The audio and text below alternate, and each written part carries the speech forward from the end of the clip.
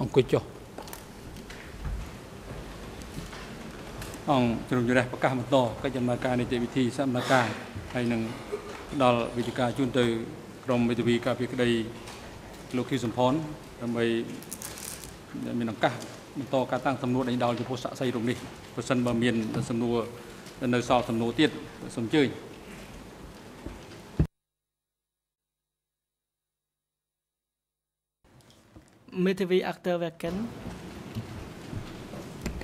Merci Monsieur le Président. Bonjour Monsieur le témoin, je suis Arthur Verken, avocat international pour Monsieur Kyosampan. Et je vais vous poser euh, très rapidement quelques questions, je pense deux tout au plus, donc je vais être euh, très bref. Avant la pause, vous avez indiqué qu'à l'époque du Kampuchea démocratique, euh,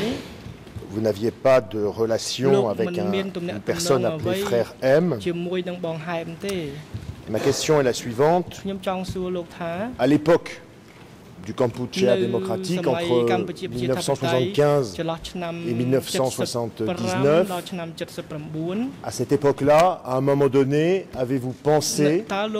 que dans le cadre de votre travail, M. Kyosampan était votre supérieur hiérarchique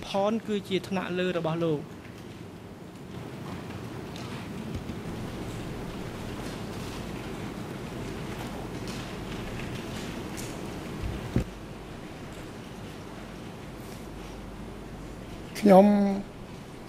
មិនបានគិតអញ្ចឹងទេតែគ្រាន់តែគាត់ថាសង្ស័យទេតែថាគិតថាជាក់ស្ដែងគាត់ជាថាលើច្បាស់លាស់ក៏ខ្ញុំមិនហ៊ានបញ្ជាក់ថាច្បាស់លាស់ទេ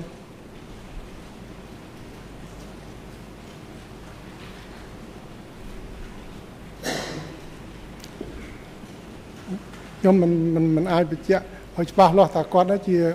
ជាថ្នាក់លើរបស់ខ្ញុំទេបាទ អន្តសង្ស័យ càng ប្រហែលសង្ស័យជាគិតអត្តនោម័តទេតែថាថាជាក់ស្ដែងគាត់ណាក់លើមែនឬមិនមែននឹងជាការចាត់តាំងខាងលើវាមិនខ្ញុំមិនមិនមិនមិនអាចថាជាក់ស្ដែងបានទេបាទ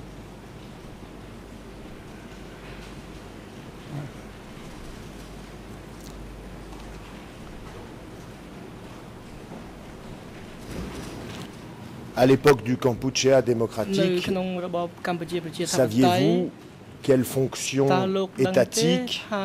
exerçait M. Khieu Sampon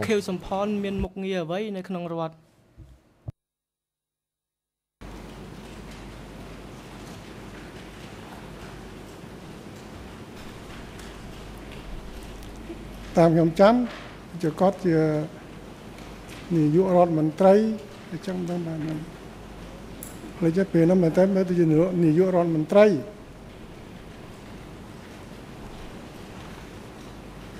តែតោងឆ្នាំណាពេលណាខ្ញុំមកភ្លេចឆ្នាំហើយតែក្នុងក្នុងរយៈពេលនោះ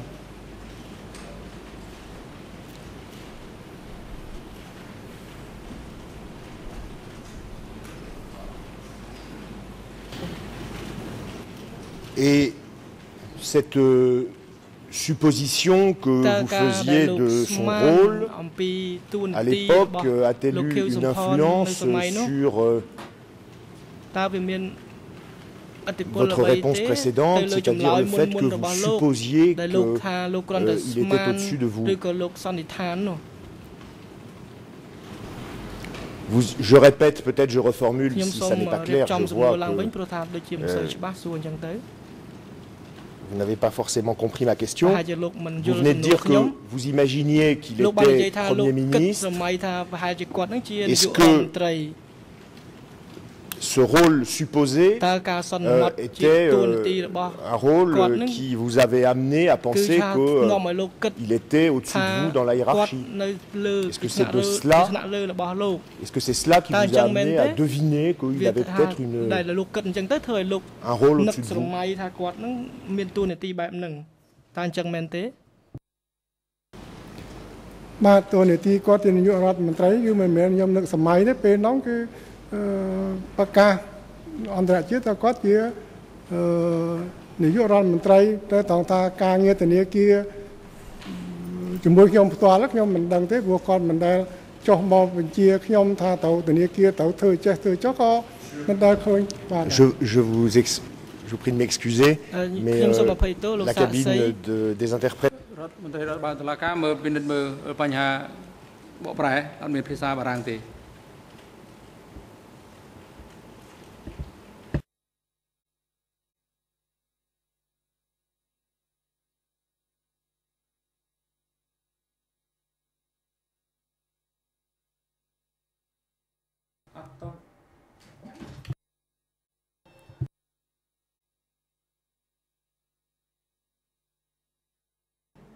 សូមគ្រប់លោកប្រធានយើងអាចបន្តបានបាទអឺសូមចេញលោកសាក់សីឆ្លើយសូមឆ្លើយសំណួរបាញ់មិញហ្នឹង President អឺសំណួរតបទៅនឹងសំណួររបស់លោកមេធាវីចុងក្រោយនេះឡើងវិញព្រោះ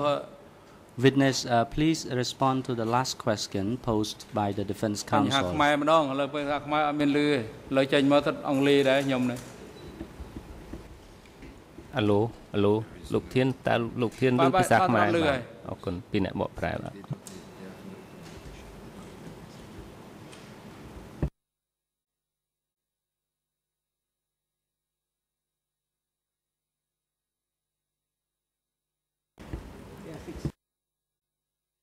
សូមអញ្ជើញលោកសាក់សីឆ្លើយតបនឹងសំណួរចុងក្រោយមិញមិញនេះដែលសួរដោយមេធាវីកាពីក្តីលោកគឺសំផន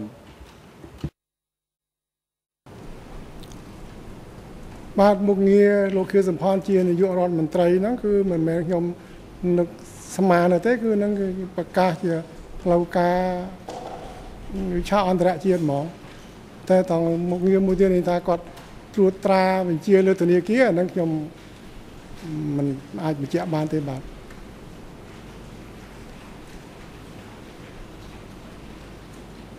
អរបាទ បាទខ្ញុំបាទមានប៉ុណ្ណឹងបាទ Est-ce que euh, vous Samoa. connaissez l'écriture ou la តើលោ signature ក de ស្ Monsieur គាល់អ Kieu ក្សរ Champon ឬហត្ថលេខារបស់លោកខៀវសំផនទេ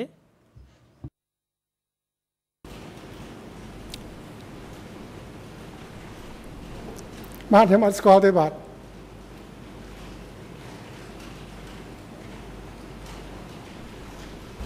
Je n'ai pas d'autres questions, Monsieur le Président. លោកប្រធានខ្ញុំអស់សំណួរហើយបាទអរគុណជាកិច្ចបន្តខ្ញុំសូមផ្ដល់វេទិកាជូនទៅក្រុមមេធាវីការពីក្តីលោកនុនជាដើម្បីមានឱកាសក្នុងការតាំងសំណួរដេញដោលចំពោះសាក់សីសកឹមលមុតសូមអញ្ជើញ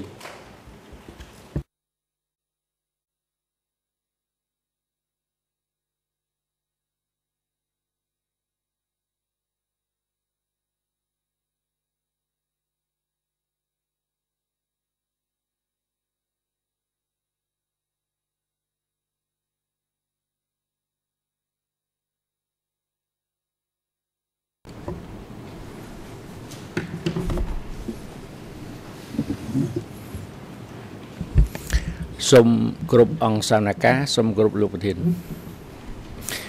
អឺសូមជម្រាបសួរអឺលោកសាក់សីអឺខ្ញុំឈ្មោះសុនអរុនជាមេធាវីការពារលោកនុនជាជាដំបូងខ្ញុំមានសំណួរដូចតទៅនេះលោកសាក់សីបានជម្រាបទៅសហព្រាញ្ញាថា លោកបានចូលបដិវត្តន៍ពីសម័យសង្គមរាស្ត្រនិយម ក្នុងទសវត្សរ៍ទី60រឿងនេះរឿងនេះពិតអញ្ចឹងណាសូមលោកបញ្ជាក់ម្ដងទៀត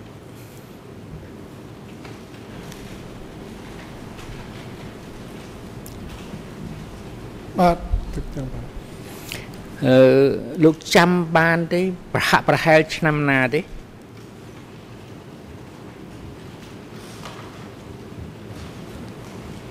ខ្ញុំចាំមិនបានទេបាទមិនដឹងពីឆ្នាំណាទេបាទសូមអរគុណ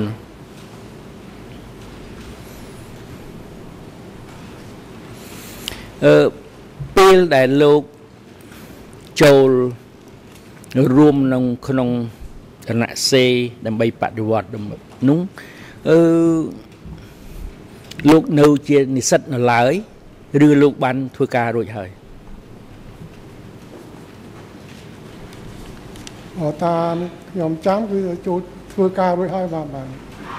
ធ្វើការរួចហើយបាទ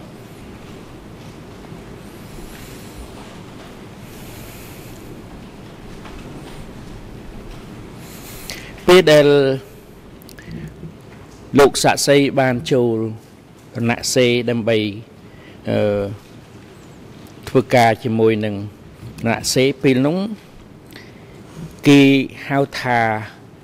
កាលហ្នឹងមិនទាន់មានរណសេអីនៅឡើយទេបើតាមខ្ញុំចាំអឺគេហៅថាអឺខ្មែរក្រហម ពេលនោះលោកមិនទាន់មានអឺអឺពេលនោះលោកតែលោកស្គាល់ដែលលើឈ្មោះអឺហ្វុងនិងក្រុងទេ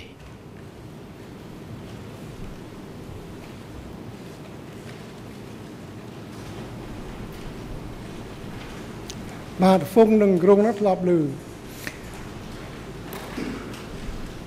លោកចាប់លឺពីពេលណាមក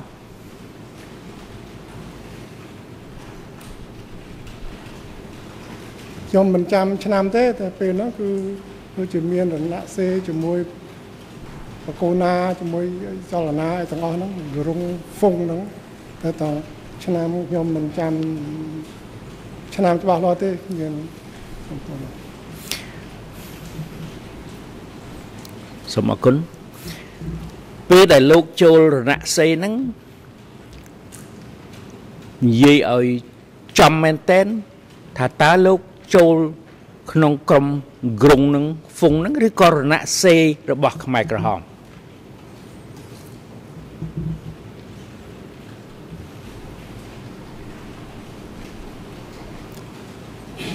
ដំបូងហ្នឹងគឺថាគ្មានប្រើពាក្យថាខ្មែរក្រហមអីក៏ គ្មានទេសម័យហ្នឹងគ្មានមិនតាន់ឮពាក្យថាខ្មែរក្រហមអីទេហើយដល់ក្រុងហ្វុងហ្នឹងខ្ញុំមិនបានចូលជាសកម្មអីនៅក្នុងក្នុងចលនាហ្នឹងទេអត់បានរួមអីតែនៅនៅចូលចូលពីដែលដំបូងនោះគឺมันមានឈ្មោះថាខ្មែរក្រហមអីអត់មានទេបាទ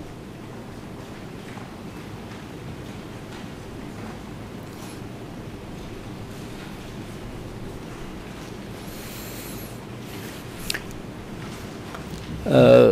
លោកលោកបានជម្រាបតុលាការមិញថាលោកចូលក្នុងរណសេយក្នុងទសវត្សរ៍ឆ្នាំ60អឺលោកកាលពីលោកនៅនិស្សិត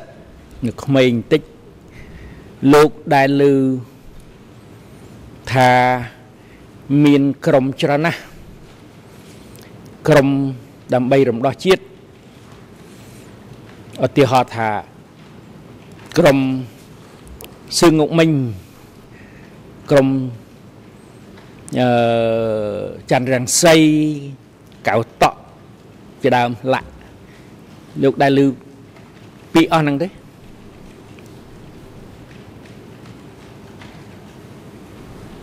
បាទដែលឮបាទប៉ុន្តែពេលនោះលោកមិនទាន់បាន ធ្វើអ្វីសកម្ម នឹងចូលក្នុងបកទាំងអស់នឹងនៅឡើយទេមិនចឹងណា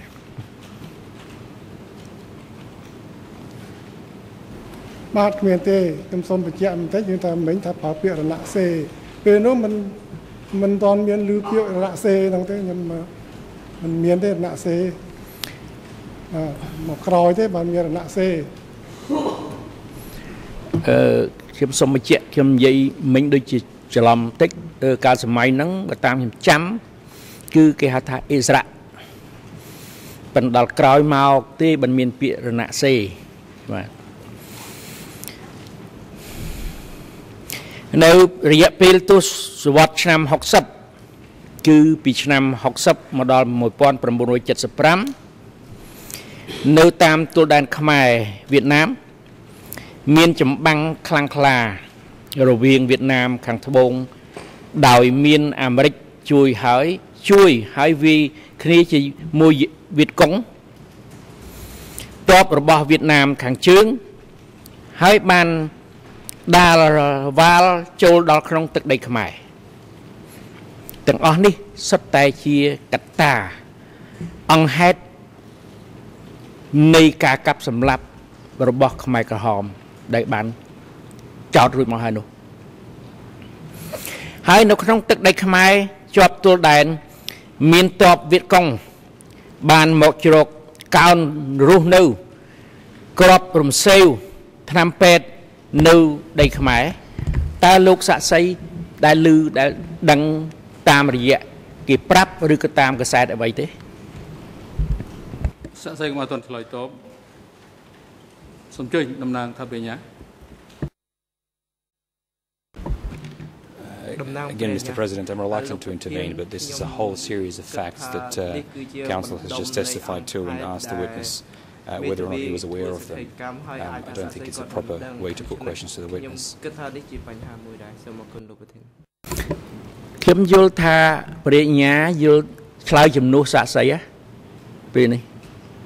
ខ្ញុំសូមបដិសេធ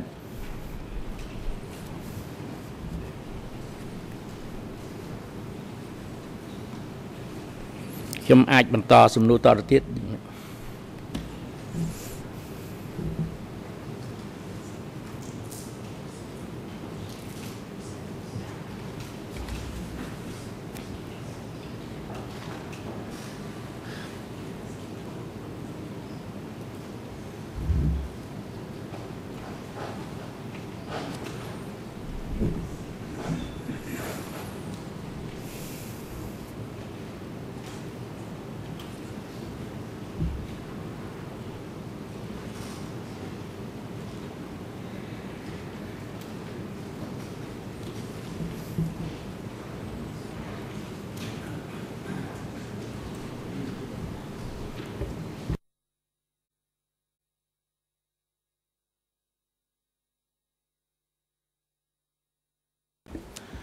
បាទសេចក្តីកត់សម្គាល់របស់តំណាងសាស្ត្របញ្ញា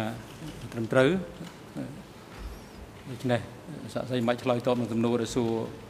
ដោយមិត្តវីជាតិកាលពីក្តីលោកនឹងជាមិនមែននេះទេលោកមិត្តវីមិនមែនធ្វើអត្ថាធិប្បាយយ៉ាងវែងហើយមកសួរសាក់សីទេសូមអង្កន់នៅការតាំងសំណួររបស់លោកឲ្យបានខ្លីៗដែលអឺសាក់សីមានលទ្ធភាពនៅក្នុងការស្ដាប់យល់ហើយនឹងអាចឆ្លើយតបបាន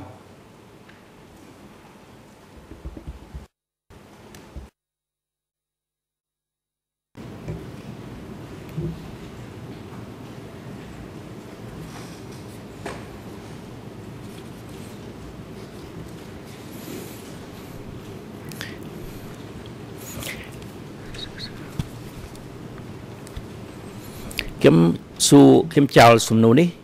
ហើយខ្ញុំនឹងសួរសំណួរបន្តចាប់ពីឆ្នាំ1969និងដើមឆ្នាំ1970ពេលនោះលោកមានទីតាំងនៅណាលោកនៅធ្វើការនៅភ្នំពេញឬក៏លោកលោកបានចូលទៅក្នុងរណសេរីទឹកដីរណសេរីរួចហើយ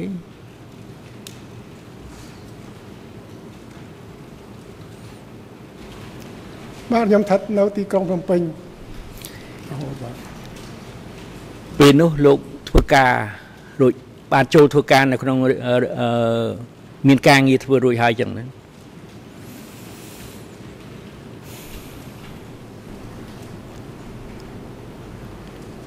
បាទមានហើយបាទ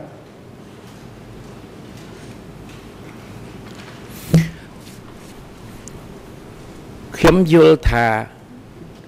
លោកជាបញ្ញាវ័នម្នាក់ហើយមានវ័យចំណាស់ល្មមដឹងរឿងគ្រប់គ្រាន់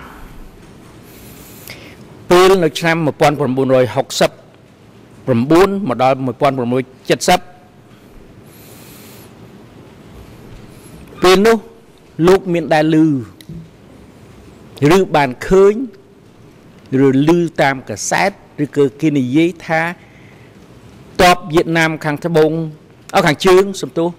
ចូលមកទឹកដីកម្ពុជាច្រើនណាស់លោកមានបានដឹងរឿងហ្នឹងទេ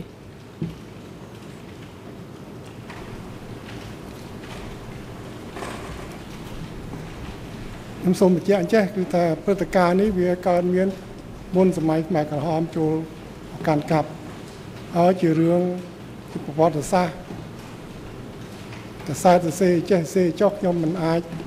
យករឿងអស់ហ្នឹងមកបំបំភ្លឺជំរាបបានទេបាទសូម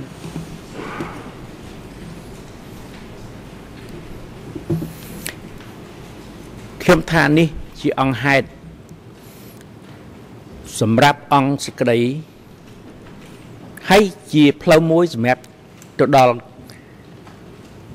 ការកាត់ក្តីដោយយុត្តិធម៌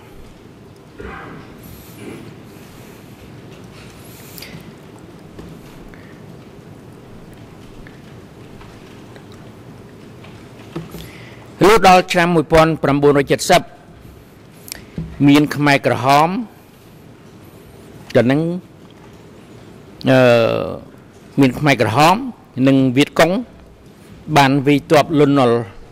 រហូតដល់ឆ្នាំ1975តើលោកនៅឯណាពេលនោះបាទខ្ញុំនៅភ្នំពេញបាទ ហើយនៅឆ្នាំ1973បើហើយពាក់កណ្ដាលឆ្នាំ1973តបវៀតកុងមានន័យថាតបវៀតវៀតណាមខាងត្បូងអស់ខាងជើងសំទោសបានដកតបចេញមួយចំនួនធំពីប្រទេសខ្មែរនៅពាក់ប្រហាក់ប្រហែលពាក់កណ្ដាលឆ្នាំ1973តើលោកសាក់សីបានដឹងរឿងនេះទេ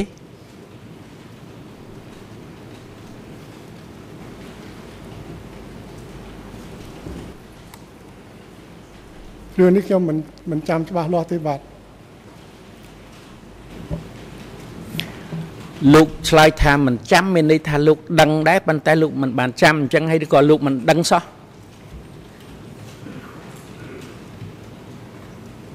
ចាំហ្មងបាទខ្ញុំមិនចាំបាទ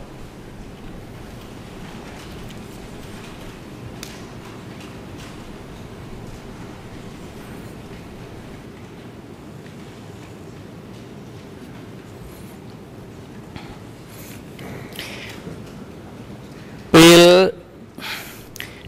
ពេលដែលនៅឆ្នាំ1954ពេលដែលបារាំងឈប់ធ្វើអាណានិគមប្រទេសកម្ពុជា ពេលហ្នឹងមានវាយចុងក្រោយបំផុត ជាមួយនៅខាងវៀតណាមគឺនៅប៊ីនមៀនហ្វូហើយរដ្ឋាភិបាលវៀតណាម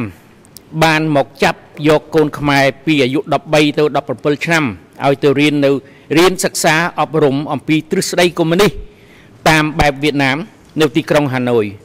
ក្រុមនោះបានត្រឡប់មកស្រុកខ្មែរវិញ នេះជាពេលដែលវៀតណាមឲ្យកូនខ្មែរត្រឡប់មកកាន់កាប់ប្រទេសកម្ពុជាបើតាមខ្ញុំដឹងថាក្រុមទាំងនេះសុទ្ធតែយកប្រពន្ធជនជាតិវៀតណាមផង តែដោយយថាហេតុយ៉ាងណាទេពេលនោះ ក្រុមខ្មែរកុម្មុយនីសវៀតណាមនោះមិនបានដឹកនាំប្រទេសទៅជាក្រុមកុម្មុយនីសប៉ុលពតនិយមចិនជាអ្នកកាន់កាប់អំណាចទៅវិញ Your, Your Honours, um, we, we object. Uh, you, you've just instructed counsel to refrain សូ from មជំទាស់លោកគាត់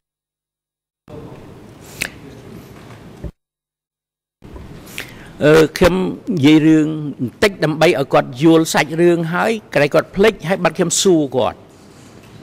ខ្ញុំសូមបន្តបាទសូមអរគុណ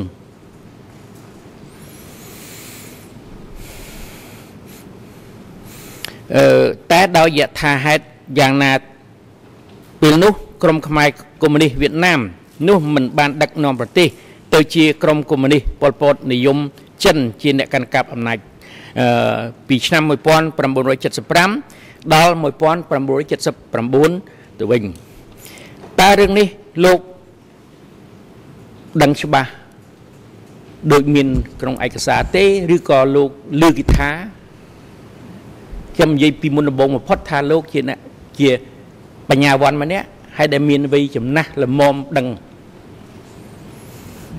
សូមអញ្ជើញតំណាងអឺក្រុមមេធាវីនៅមុខតំណាងដើមរងរាប់ឲ្យនេះ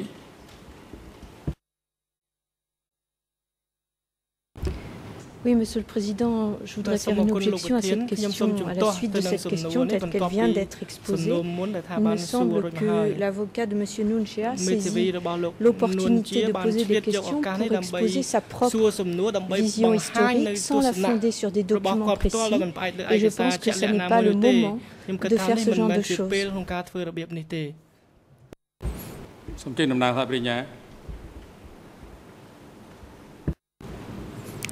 ខ្ញុំសូមដំណើរថាបរិញ្ញាមានអីលើកឡើងទេពីព្រោះអត់មានឱកាសក្នុងការជំទាស់ទេប្រសិនបើជំទាស់បានតែម្ដងទេប្រសិនបើភាគីខាងនោះឆ្លើយតបហើយយើងមិនអនុញ្ញាតឲ្យភាគីនេះលើកបញ្ហាម្ដងទៀតលើបញ្ហាដដែលនោះឡើយ Uh, thank you, uh, Mr. President. Uh, I think uh, lead co-lawyer um, has, has uh, put the objection eloquently. We have nothing to add. បានលើកឡើងនៅការជំទាស់ដែលខ្ញុំចង់លើករួចទៅហើយសូមអរគុណលោកប្រធានខ្ញុំសូមឆ្លើយទៅនឹងការជំទាស់របស់មេធាវីអឺដើមរងរដ្ឋបវនីនេះជាអង្គហេតុមួយ ដែលអង្គហេតុមួយសំខាន់បំផុតឈានទៅដល់ការកាត់ក្តីមេ ថ្នាក់ដឹកនាំមេខ្មែរក្រហមដើម្បីឲ្យមានយុតិធធក្នុងការកាត់ក្តីខ្ញុំទាញយកអង្គហេតុទាំងអស់នេះយកមកជម្រាបសួរទៅកូនក្តីដើម្បីតឡាការធ្វើការវិនិច្ឆ័យសក្តីជំទាស់មានប្រសិទ្ធភាពមេធាវីមិនអាចតាំងសំណួរដូចនេះបានទេយើងបានរំលឹកហើយ បាពីតាំងសំណួរដំបូង ថាមេធាវីក៏បីតាំងសំណួរឲ្យបានខ្លីៗសមស្របដើម្បីឲ្យសាក់សីមានលទ្ធភាពអាចស្ដាប់យល់ហើយនឹងឆ្លើយតបបានទី2អង្គហេតុដែលលោកបានលើកឡើងមកនេះมันមាននៅក្នុងដីកាដំណោះស្រាយទេបានន័យថាជារឿងអង្គហេតុមិនពាក់ព័ន្ធសាក់សីមិនបាច់ឆ្លើយតបនឹងសំណួរដែលសួរឡើងដោយមេធាវី ការពីក្តីលោកនួនជា ដែលសួរលោកអំបញ្ញមិញនេះទេ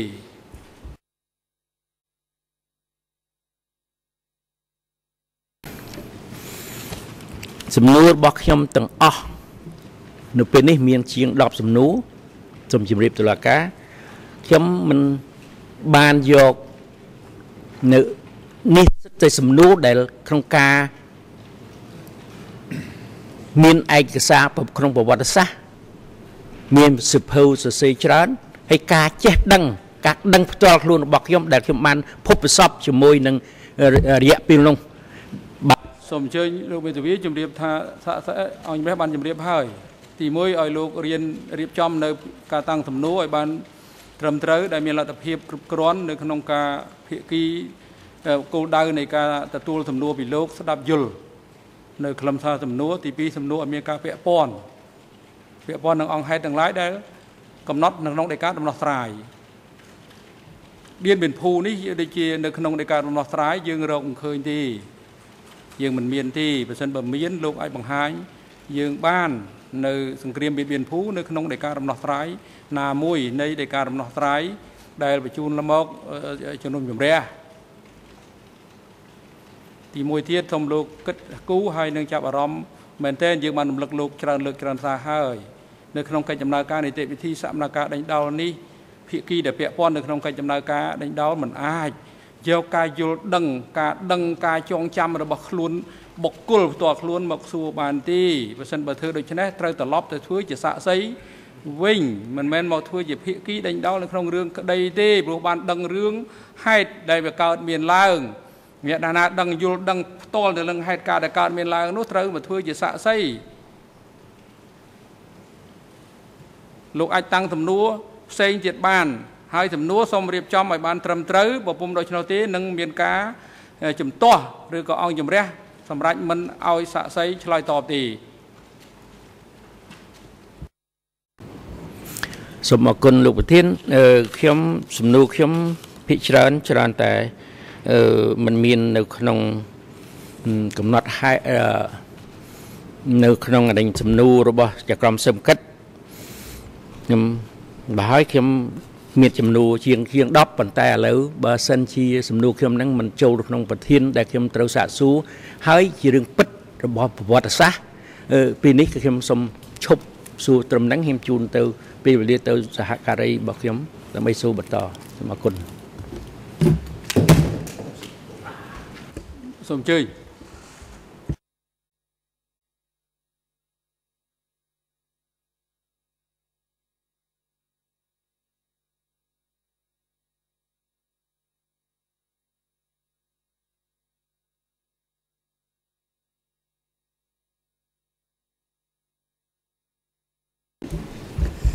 Thank you, uh, Mr. President. Good morning, Mr. Sakim Lmut. Thank you for being here today. Um, I will pose a number of questions uh, relating to uh, the testimony that you have given before the co-investigating judges. And my first question uh, is the following. You have been presented with a large number of documents by the investigators of the co-investigating judge. And these documents are allegedly dating from the time of the DK regime. And my question to you is, did these documents help you to understand the structure of the DK regime?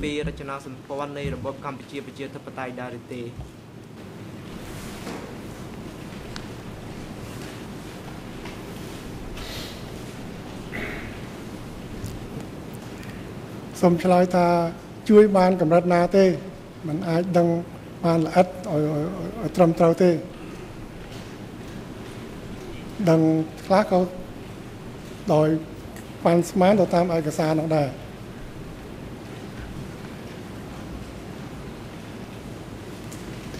Could you tell us a little bit more about that how did you make your assumptions based on the documents that were shown to you ឋានបែបណាដោយផ្អែកទៅលើឯកសារទាំងអស់នោះតើលោកអាចជម្រាបបានដែរឬទេតើលោកសន្មត់បែបណាដោយផ្អែកទៅលើឯកសារទាំងអស់នោះ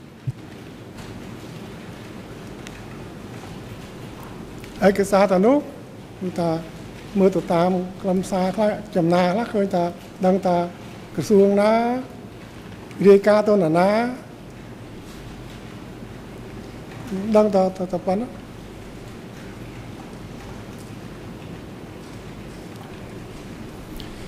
Thank you.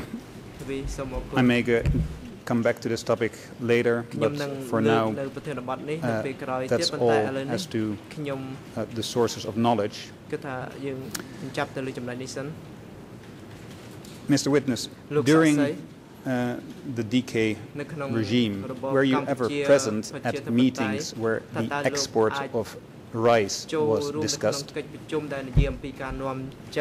ស្រូវអង្គបានដែរឬទេតើលោកមានដែរចូលរួមក្នុងកិច្ចប្រជុំបែបនេះដែរឬទេ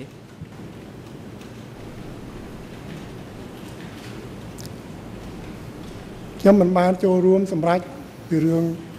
គឺថានាំស្រូវអង្គនេះទេបាទ នេះជាបរកិច្ចของការ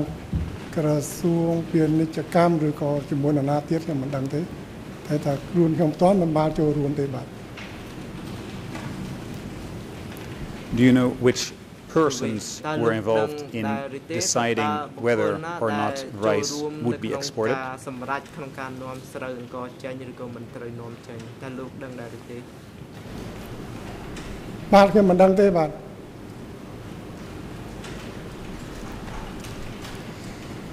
We just spoke about rice.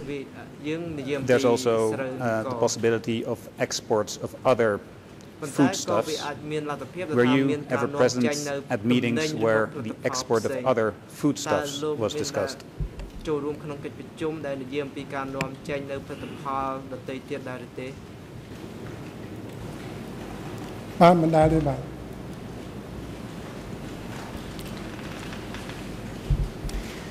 You have stated before, uh, Mr. Witness, that uh, you can assume that unmilled rice was not exported in large quantity.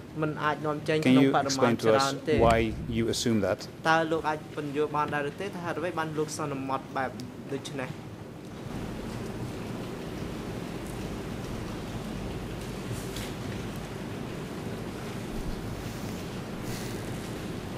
Uh, អានេះគឺ ជាការប៉ាន់ប្រមាណជាអត្តនោម័តរបស់ខ្ញុំទេខ្ញុំគ្មានជើងលេខអីទេជើងលេខទៅបាននឹងឃើញថ្មីថ្មីនេះទេពេលនោះខ្ញុំអឺអឺគ្មានជើងលេខទេប៉ុន្តែដូចថាខ្ញុំនៅខ្ញុំបាច់កន្លែងនោះទៅឃើញតាមមើលទៅដូចមិនឃើញថាសកម្មភាពអីធំដុំខ្ញុំក៏គឺថាមើលទៅมันជាច្រើនអីទេហ្នឹងខ្ញុំតែឲ្យមានជើងលេខបញ្ជាក់ខ្ញុំគ្មានទេបាទ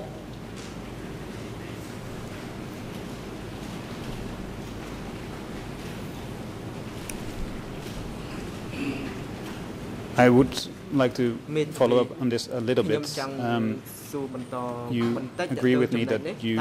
did assume this and you say it's a personal assumption.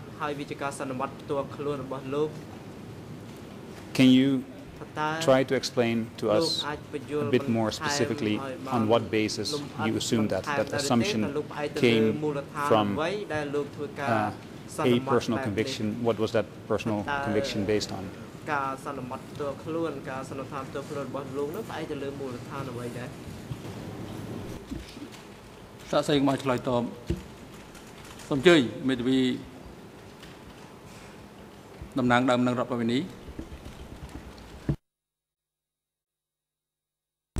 Oui, Monsieur le Président, puisque mon confrère semble vouloir poser une série de questions sur ce point, je ne fais pas une objection, mais je souhaite qu'il nous indique à quel moment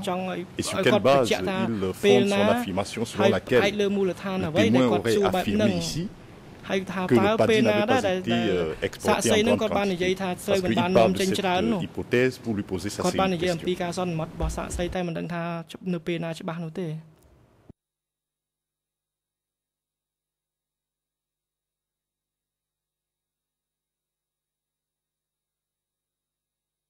មានអីទៅឆ្លើយតបនឹងការកត់សម្គាល់នេះទេលោកមេធាវី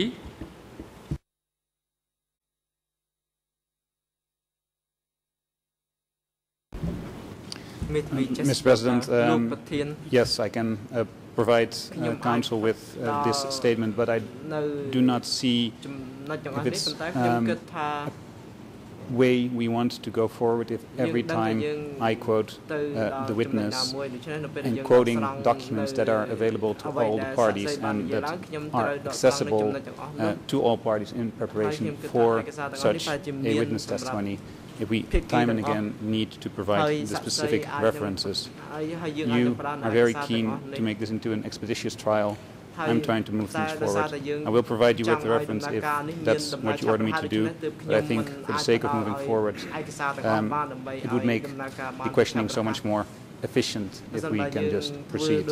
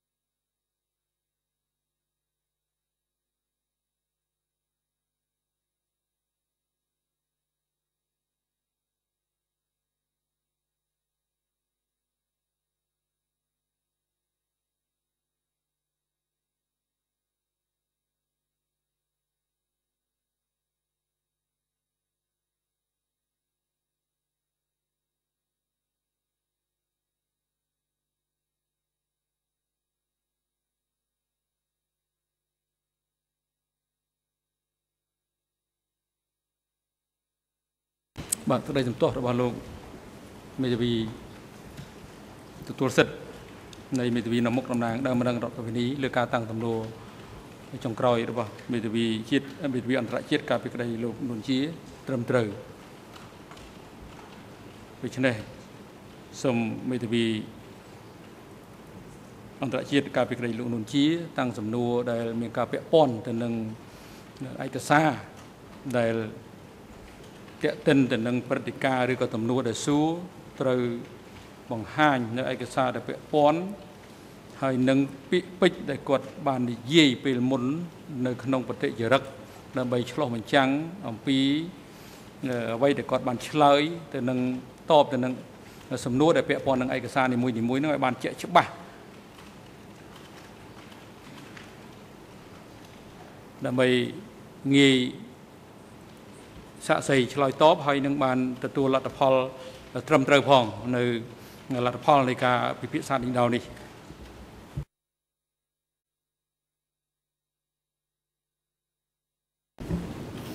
Thank you, Mr. President. Um, សូមអរគុណលោក the reference can be found in document D279/7 លើ7 It is um, គឺជា the answer to ចម្លើយ question ទៅនឹងសំណួរ63 63 It is on uh, នៅ English ក្នុង ERN page អង់គ្លេស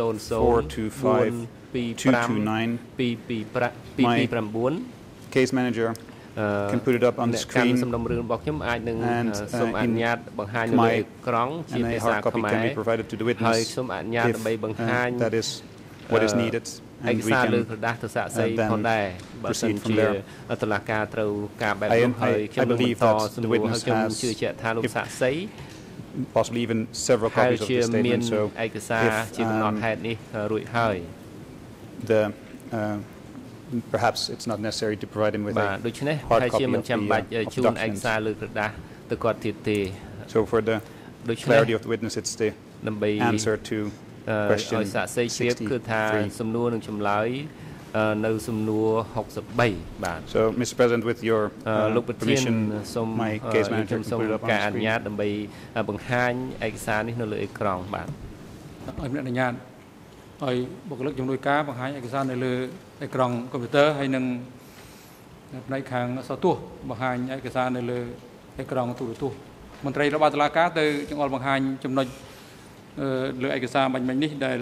ដល់សាក់សីដើម្បីបានឆាប់រហ័សក្នុងការពិនិត្យនិងឆ្លើយតប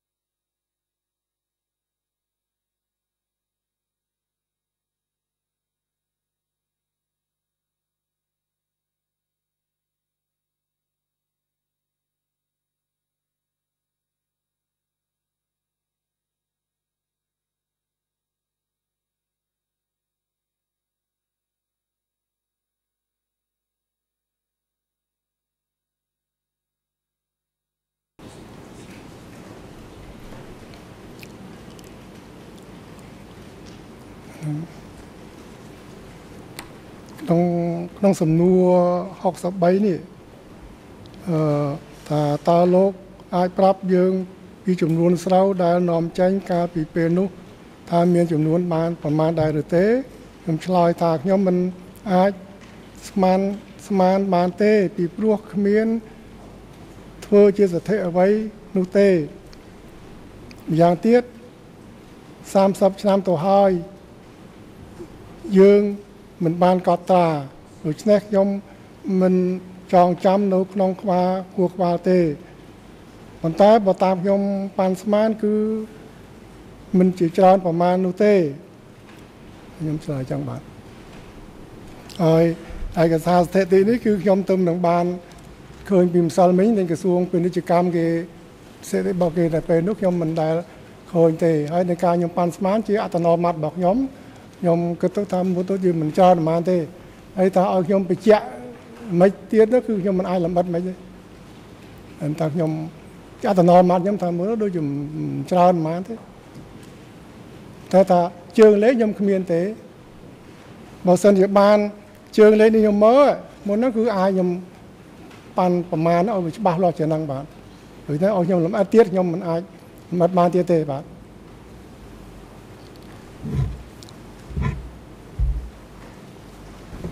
Thank you, Mr. Witness. That is similar to the answer you gave earlier, and I understand that you do not, did not have access to statistics. And I understand that you only saw this other documents only yesterday. However, I am interest, interested in hearing where your presumption came from. You are working in this organization, you are dealing with imports and exports, possibly in a limited fashion, but you were exposed to these issues. So can you explain where your presumption came from that unmilled rice was not exported in large quantity?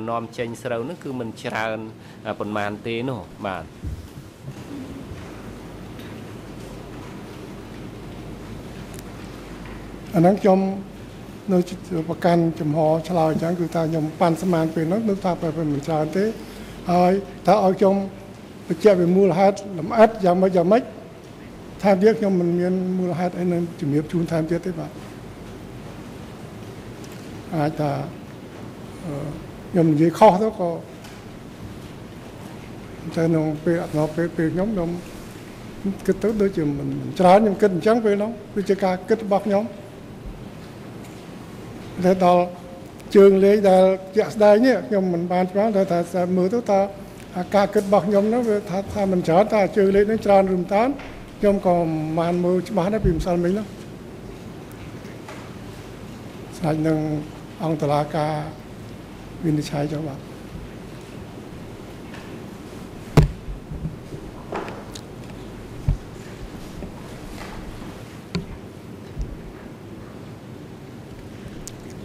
Thank you, um, មេធាវីចេស្តឺប៉ៅសូមអរគុណលោកសាស្ត្រី I am not trying to ខ្ញុំមិនព្យាយាម argue with you on this issue ត at ទល់ all. ជាមួយលោក I'm just trying to find out ខ្ញុំគ្រាន់តែ your ចង់ដឹងថា sources of តើ knowledge ប្រ with ភព regard នៃ to ការ this យល់ particular ដឹង issue. របស់លោកតើត I ទៅ will នឹង move ការ on នាំស្រូវចេញនឹងតែប៉ុណ្ណឹងទេឥឡូវ because នេះ you ខ្ញុំមិន indicate ទៅមុខ it's ទៀត a personal ដែលថា presumption. លោកបញ្ជាក់ថាជាការសន្និដ្ឋាន My តខ្លួននោះទេ following សំណួរបន្ទាប់ question របស់ខ្ញុំ relates to ចំពោះ your លោកនោះគឺ answer ត to កតង question ទៅនឹងចម្លើយ 62 in the same document នៅក្នុងឯកសារដដែល where ដែល when ក្នុង asked លោកគេសួរ by លោក the ថា investigators អឺសហអ្នក how ស៊ើប were គេ foods សួរថាតើ exported ចំពោះការនាំចេញ Your ម្ហូប answer អា is ហារដូចម្ដេច so far as I ដែរលោក remember ឆ្លើយថាបើ there តាម were ខ្ញុំ milled ចាំ and គឺ unmilled មាន rice ស្រូវអង្ករ rubber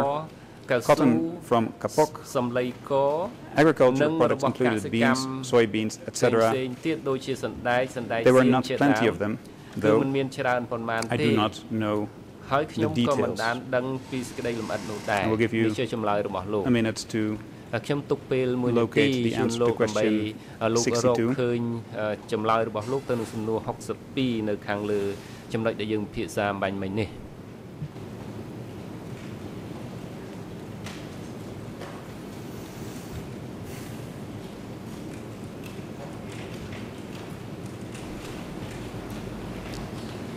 so my question to you is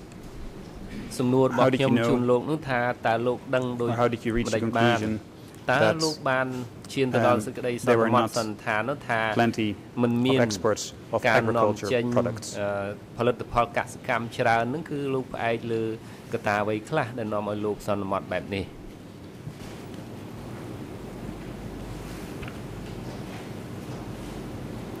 អាហ្នឹងអាហ្នឹងគឺហេតុផលដូចខ្ញុំ ចម្លើយលើមុនអញ្ចឹងគឺថាខ្ញុំគិតមើលទៅដូចជាមិនច្រើនទេខ្ញុំសន្សន្តានពេលនោះហើយក៏មិនដែលបានឃើញស្ថិតិអីក៏ក៏ដែរទេហើយតែថាឲ្យខ្ញុំលំអិតថាហេតុអីបានតែខ្ញុំសន្តានអញ្ចឹងគឺថាពេលនោះក៏គិតទៅថាគឺថា ទូទៅគឺថាដោយសេដ្ឋកិច្ចឬកសិកម្មអីដូចមិនមិនលឺគេថាយ៉ាងម៉េចយ៉ាងម៉េចច្បាស់ទេតែថាខ្ញុំដូចសន្តានថាដូចជាមិនច្រើនហើយឲ្យសួរខ្ញុំថាមូលហេតុអីលម្អិតខ្ញុំមិនអាចថាលម្អិតអីទេបាទតែនឹងជាអត្តនោម័តខ្ញុំថាអញ្ចឹងតោះថាវាខុសវាត្រូវអានោះយកទៅប្រៀបធៀបទៅនឹងអានៃស្ថិតិដែល ដែលពាណិជ្ជកម្មគេធ្វើមកនេះតើវាអញ្ចឹងច្រើនឬតិចដូចខ្ញុំប៉ាន់ស្មានការប៉ាន់ស្មានរបស់ខ្ញុំទេពីព្រោះថាធ្វើការដូចថាខ្ញុំអាចយល់ដឹងពីរឿង Miss Witness មេធាវីលោកសាក់សី I, th I think your answer is, is clear. I will, I will move on to, a, um, to the next topic, um, which is related to this issue. And I would like to uh, show a document um, to you with the number D279 slash 7.4 uh, another document reference number. It would be for the same document would be E3 slash 829 English reference number or ERN number is 00002714 my reference number uh, ERN uh, number is 00002711 and with your president's permission I would like to show this uh, document on the screen and it's uh, the document called Report on Negotiation between Democratic Kampuchea's commercial delegation, the People Republic of China's international trade delegation, and it's dated December 3, 1978. We spoke about this document yesterday in court as well. ហើយពីម្សិលមិញនោះក៏បានបង្ហាញឯកសារនេះនៅលើអេក្រង់សាក់សីនៃការផងដែរ hard copy of this particular លោកសាក់សីតើលោកមានឯកសារនេះនៅក្នុងដៃទេឬក៏លោកត្រូវការឲ្យខ្ញុំជូនទៅលោកមួយច្បាប់នៅពេលនេះអរខ្ញុំអនុញ្ញាតមន្ត្រីបុគ្គលិកជំនួយការអាចបង្ហាញឯកសារនៅលើអេក្រង់កុំព្យូទ័រហើយនឹងផ្នែកខាងសោតទស្សន៍បង្ហាញឯកសារនេះនៅលើអេក្រង់កុំព្យូទ័រ ទូរទស្សន៍ហើយមន្ត្រីរបស់តុលាការពិនិត្យឯកសារហើយនឹងយកបង្ហាញឲ្យចំទំព័រលេខ EON នៃឯកសារនេះដល់សាក់សីព្រោះឯកសារនេះបានបង្ហាញរួចហើយកាលពីម្សិលមិញ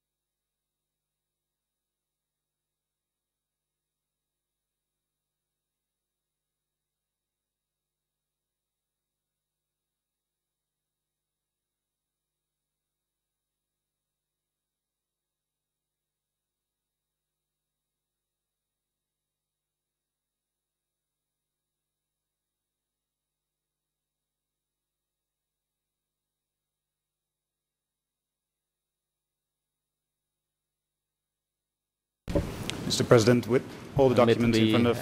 this witness, maybe it's more convenient if we provide him with hard copy so that it can be more easily studied.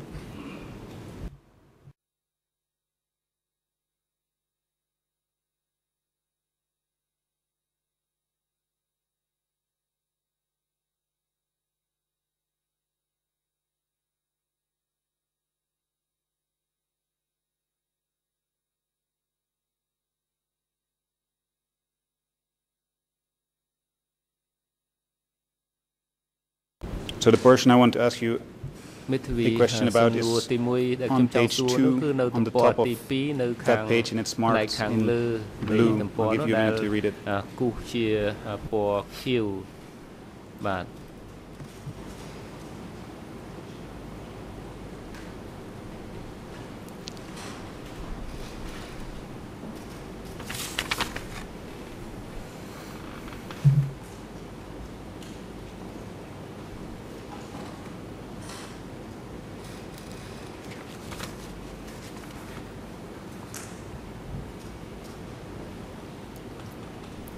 បាទខ្ញុំបានអានហើយបាទ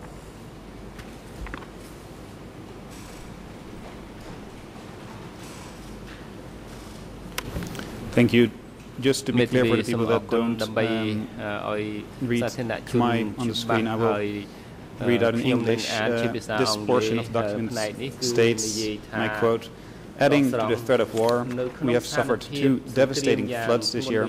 which were the largest in 70 years. This disaster affects our, our agriculture. As a result, we could not export as we planned for this year. My question to you, Mr. Witness, is do you remember those two devastating floods in 1978? ទឹកចំនួនធ្ងន់ធ្ងរខ្លាំងក្លាដែរឬទេនៅក្នុងឆ្នាំ1978នោះបាទខ្ញុំមិនចាំទេបាទ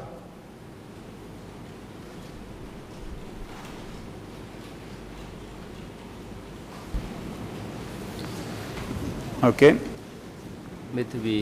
បាទ then I will ដូច្នេះខ្ញុំនឹង move to a បដូរទៅ uh,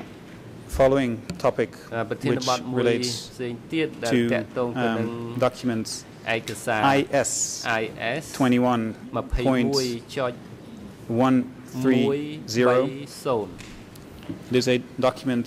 ឯកសារនេះ um, by the uh, Ministry of របស់ Commerce. ក្រសួងពាណិជ្ជកម្ម English ERN ភា is សាអង់គ្លេស ERN 006 64494. Khmer ERN is ខ្មែរ ERN 000726999 and the French ERN is uh, 0064358 And with your permission, Mr. President, I would like to uh, provide the witness with a hard copy and សាកសី show it on ជា the ឯកសារ screen. លើក្រដាសហើយនឹងសូមអនុញ្ញាតដើម្បីបង្ហាញនៅលើអេក្រង់ទូទស្សន៍និងកុំព្យូទ័រផងដែរបាទជាបឋមសាកសីទទួលឯកសារនេះពីមេធាវីការពីក្តីយកជូនសាកសីពិនិត្យជាមុនសិន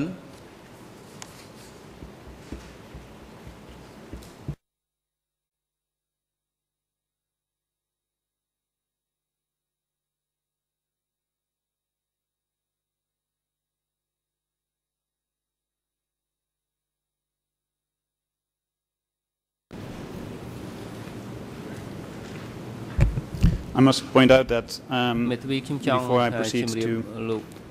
use this document that I do not know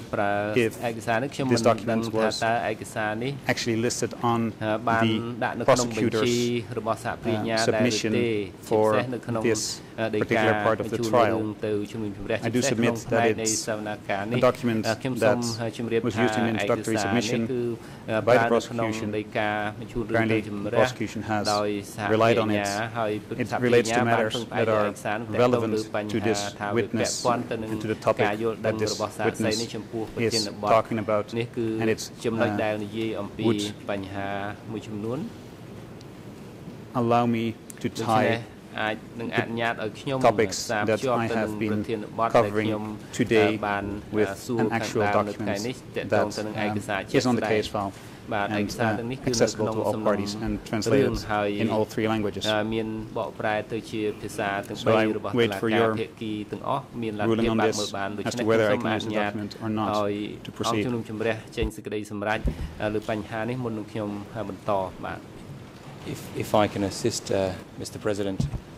សាព្រាជ្ញាខ្ញុំ just សូម a ជ brief ម្រាប look at our បន្ថែម database. ដោយ Um, សង្ខេបនៅក្នុង at short ប្រ notice, ព័ន្ធ it does appear to have been on our database list. គឺថា Um, And if need be, I can confirm in a minute the exact ERN, but it certainly does appear to have been on our list. ប៉ុន្តែគឺស្ថិតនៅក្នុងប្រព័ន្ធ database របស់តុលាការមានឯកសារនេះបាទ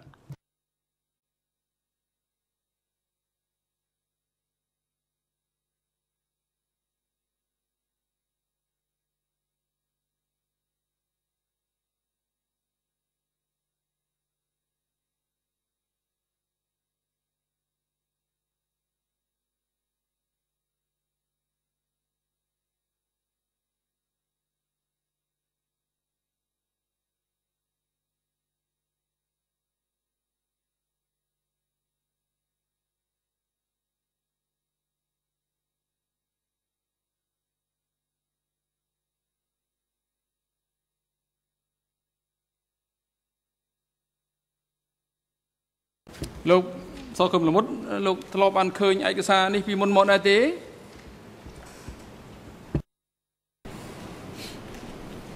បាទលោកប្រធានខ្ញុំមិនដែលឃើញទេបាទតាមជីដកឯកសារនេះចេញពីសាក់សីហើយនឹងឲ្យដកបុគ្គលិកជំនួយការដកឯកសារនេះចេញពីអេក្រង់កុំព្យូទ័រ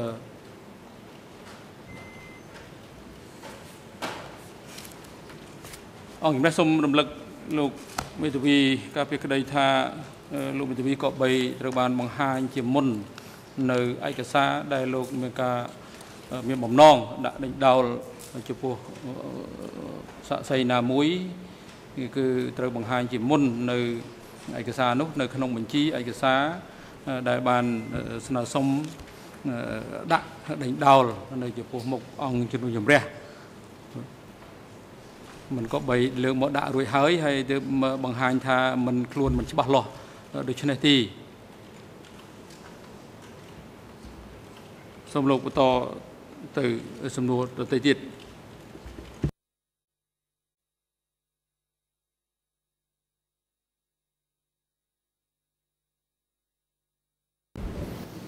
Thank you, Mr. President. Just to be absolutely clear, we did uh, indicate this document on the list of documents that we would be using for the questioning of this witness. I also want to make a more general observation. I'm sure that uh, the prosecution will um, support me in, in my submissions, at least to a certain extent. នៅក្នុងកម្រិ តមួយ This is a relevant document នេះជាឯកសារដែលមានការពាក់ព័ន្ធឬតកតងទៅនឹងការនាំចេញស្រូវអង្គហើយសាក់សីរូបនេះ was close to the action that I want to say it in a um, easy way. He could shed light on these documents, especially because they relate to financial matters, income,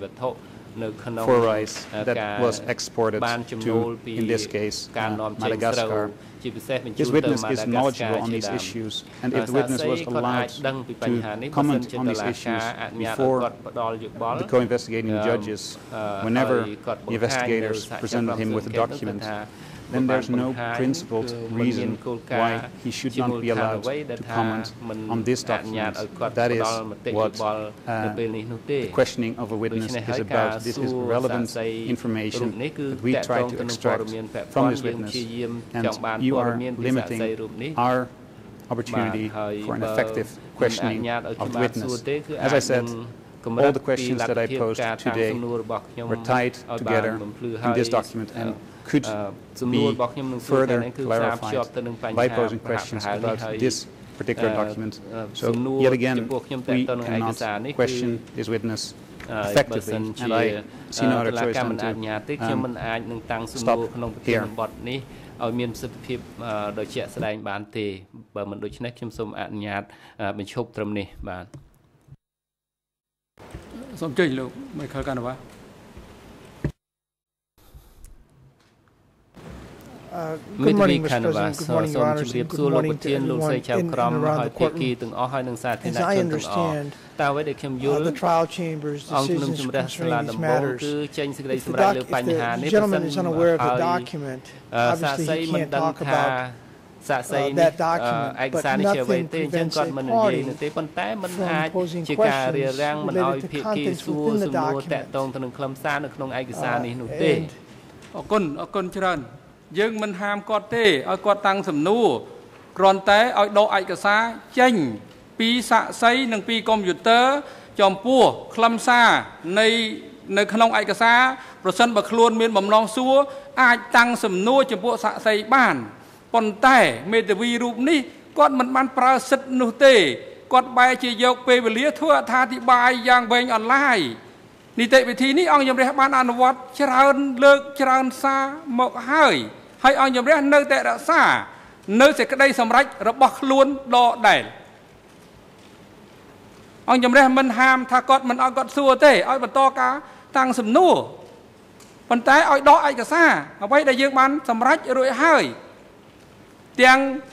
សាក់សីចេញពីសាក់សីទាំងនៅលើកញ្ចក់នៅលើអេក្រង់ទូរទស្សន៍ឬកុំព្យូទ័រ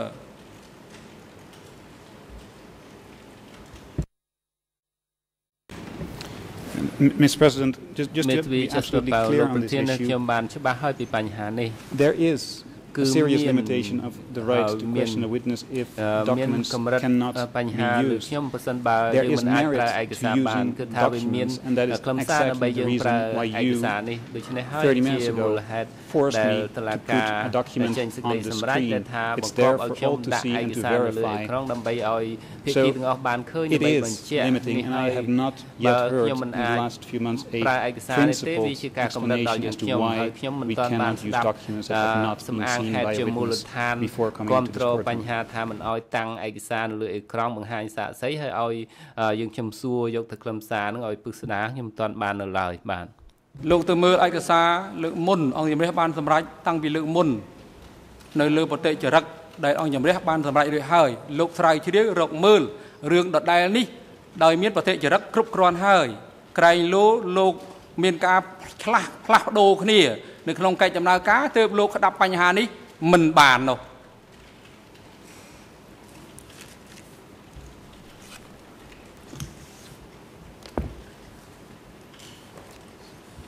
លោកអស់សំណួរហើយមែនទេបាទឥឡូវនេះអឺ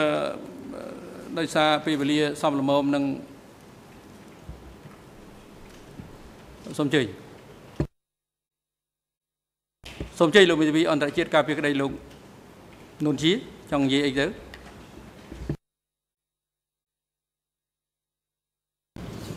Mr. President, yes, I, I have ceded the floor considering that I cannot use that document as a basis for my question.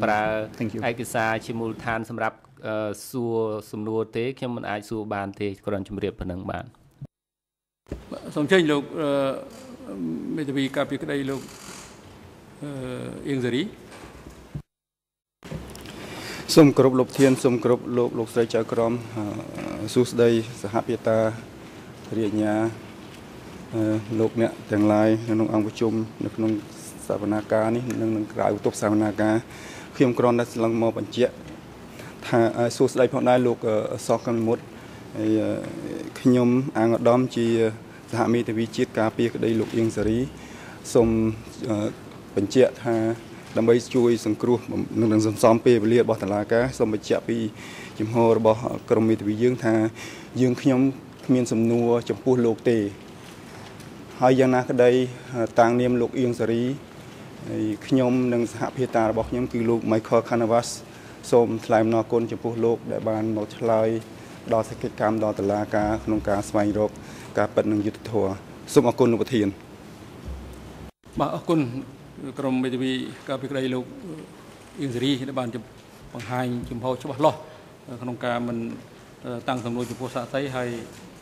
ផ្ដល់ព័ត៌មានដល់យើងទាន់ពេលវេលានាំឲ្យអង្គជំរះងាយស្រួលក្នុងការសម្រេចនិងជំរុញកិច្ចដំណើរការសម្ដែងការពិភាក្សានេះដល់បានឆាប់រហ័ស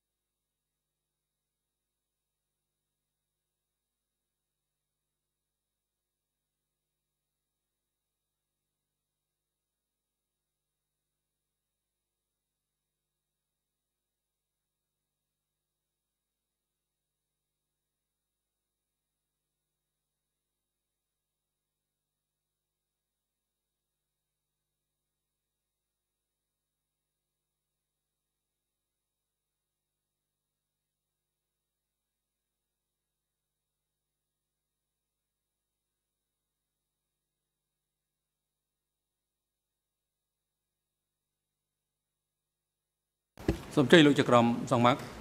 ដែលមានបំណងចង់សំសួរតាំងសំណួរដេញដោលចំពោះសាក់សីរំនេះសូមជ័យ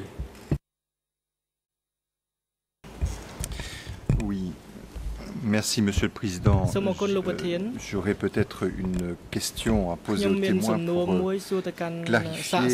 un point qui a été déjà longuement abordé. Mais euh, il s'agit de l'identification du dénommé vous avez été interrogé, monsieur le témoin, à nombreuses reprises sur l'identité de M qui apparaît dans euh, différents euh, comptes rendus. Vous avez dit que vous euh, avez identifié M non pas sur le moment, lorsque à l'époque du Kampuchea démocratique,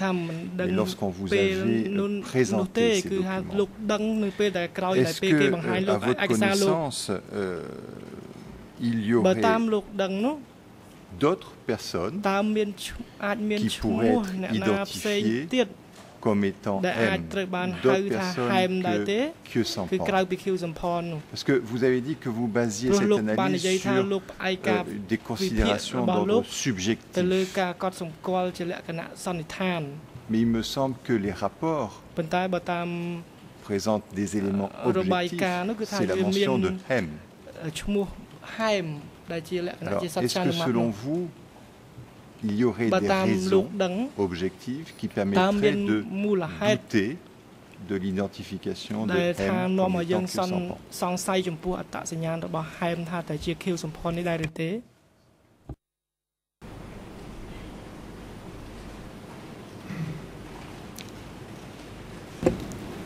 Monsieur le Président, លោកប្រធាន Je vous prie d'excuser mon ចាំចាំចក្រមសួរចប់ទៅលោកអាចធ្វើរាជធនធានចុងក្រោយណាមិនមែនមកចំទាស់ចក្រមសួរឡើងមិនទៅអង្គជំនុំមិនអនុញ្ញាតឲ្យធ្វើដូច្នេះទេ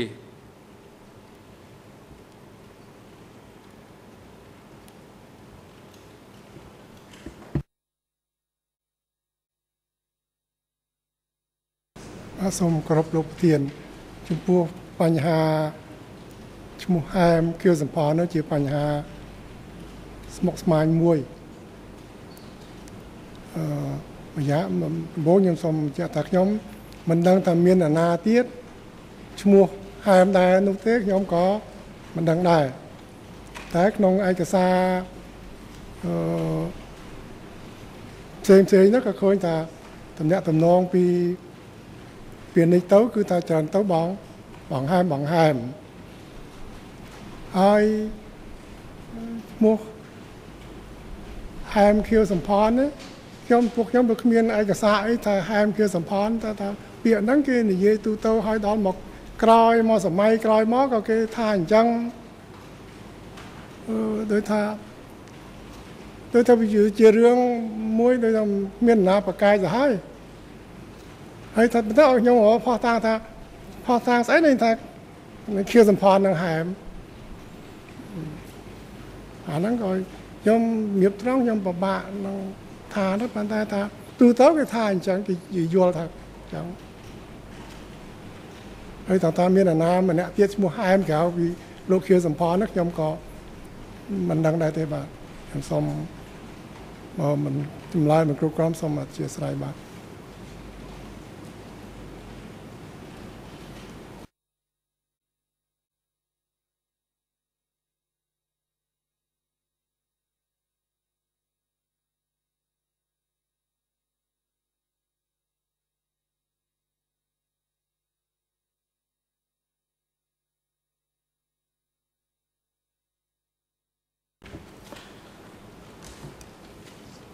គុណ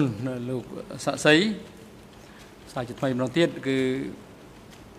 ដែលលោកបានចំណាយពេលវេលាដ៏មានតម្លៃហើយបានខិតខំប្រឹងប្រែងអស់ពីលទ្ធភាពនិងសមត្ថភាពដែលមានផ្ចង់អារម្មណ៍ឆ្លើយតបទៅនឹងសំណួរក្នុងរយៈពេលប្រហែលថ្ងៃមកនេះហើយឥឡូវនេះកិច្ចដំណើរការស្ដាប់សកម្មកម្មរបស់សាក់សីពាក់ព័ន្ធនឹងសំណុំរឿងនៅចំពោះមុខអង្គជំរះរដ្ឋដំបងនេះពេលនេះឃើញថាដល់ទីបញ្ចប់ហើយ ដូច្នេះសាក់សីអាចវិលត្រឡប់ទៅលំនៅឋានវិញឬក៏ទៅគោលដៅណាដែលលោកចង់ទៅវិញបានហើយអង្គជំរះលែងត្រូវការស្ដាប់សក្ខីកម្មរបស់លោកសាក់សីទៀតហើយហើយសូមលោកធ្វើដំណើរប្រកបដោយសុវត្ថិភាពមន្ត្រីរដ្ឋបាលតុលាការសម្របសម្រួលជាមួយនឹងអង្គភាពគាំពៀសាក់សីនិងអ្នកជំនាញក្នុងការបញ្ជូនសាក់សីសកឹមលមុតវិលត្រឡប់ទៅកាន់លំនៅឋានរបស់គាត់វិញ ហើយអង្គជំនះសូមជម្រាបផងដែរថាកិច្ចដំណើរការសកម្មភាពនៅរុស្ស៊ីនេះអង្គជំនះនឹងបន្តស្ដាប់នៅសក្ខីកម្មសាក់សីមួយរូបទៀតគឺសាក់សីដែលមានរហស្សនាម TC W 604ដែលនឹងតាំងសំណួរចាប់ផ្ដើមដោយតំណាងសហប្រញ្ញាបន្ទាប់ពីសំណួរបឋមសួរដោយប្រធានអង្គជំជំរះនៅឥឡូវនេះដល់ពេលសំលមមនឹង សម្រាប់ភាសាថ្ងៃត្រង់ហើយអង្គជំរះប្រកាសសម្រាប់ដើម្បីភាសាថ្ងៃត្រង់ចាប់ពីពេលនេះទៅទៅរហូតដល់ម៉ោង1:30នាទីរសៀលនេះសូមអញ្ជើញចូលវិញដើម្បីបន្តកិច្ចដំណើរការសម្ដែងការហើយសូមឲ្យអនុញ្ញាតឲ្យមេធាវីការពីក្តីមានទីបល់សូមអញ្ជើញបាទ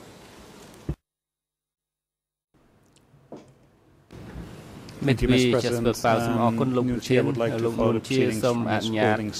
ទៅតាមដានសវនាការនេះពីបន្ទប់នៅខាងក្រោមហើយខ្ញុំបាទនឹងដាក់ជូនលិខិតបោះបង់សិទ្ធជូនតុលាការបន្ទាប់ពីនេះសូមអរគុណបាទបាទអរគុណបានស្ដាប់សំណើសុំរបស់ជនជាប់ចោតនួនជាដែលបានធ្វើឡើងតាមរយៈមេធាវីការពារក្តីបកត